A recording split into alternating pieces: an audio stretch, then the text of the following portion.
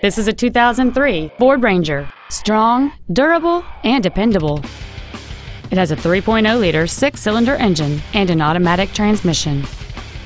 Features include aluminum wheels, solar tinted glass, cruise control, an in-dash CD changer, a bed liner, the SecuriLock anti-theft system, fog lamps, an anti-lock braking system, privacy glass, and this vehicle has fewer than 44,000 miles on the odometer.